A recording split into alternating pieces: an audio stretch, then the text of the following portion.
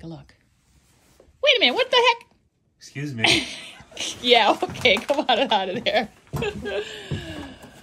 Ooh, so anyway, there's a curtain here, but there was a door.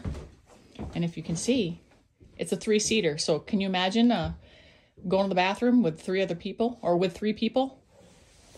I'll bring you in here and show you. We'll open up. Whoa, a lot of air came rushing up, but can you see down in there?